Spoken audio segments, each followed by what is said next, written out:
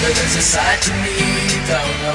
Different to the child with the smiling photos. Made some decisions, some wrong, some right now. Strangers for my number when I'm sleeping at.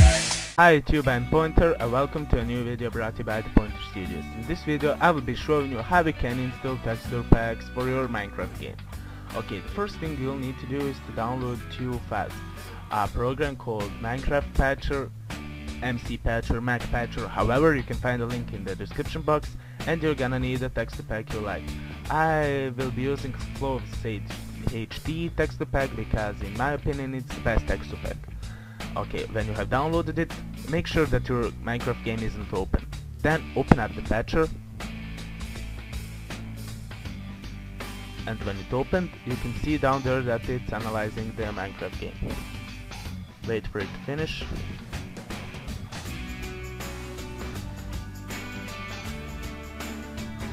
And now check all boxes and click patch. Now it's patching the Minecraft game.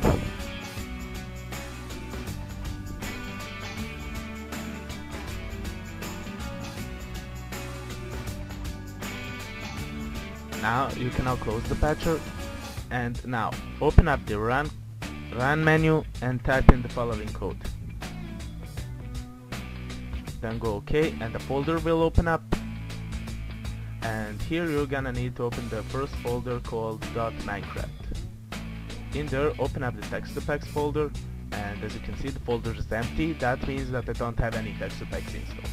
Now just copy and paste the pack you like in the folder and it's installed now.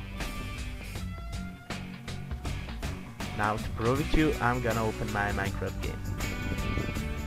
If you don't know how to get Minecraft you should watch my video and I will post a link in the description box down there.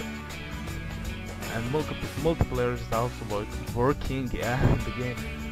Okay now log in. Now the game opened and you now see the default skin and now if you want to apply your texture pack you need to open here texture packs and now just click on the texture pack you want. It takes a little, little bit to load depending on the texture pack because this one is a HD texture pack and it takes more time to load than ordinary one.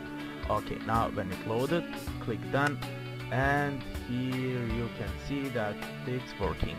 Now let's try a world. Okay, I will play my world because it's my world. Yeah.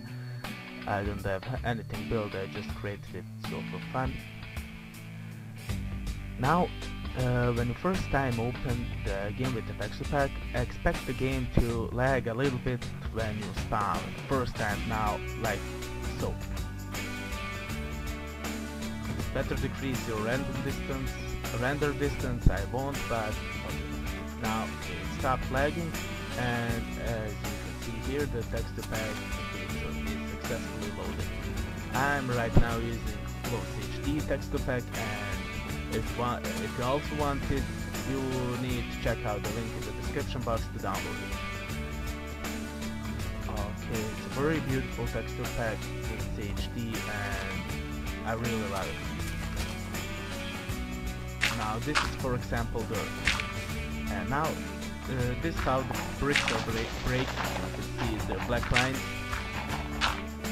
Okay, I really like the text pack and if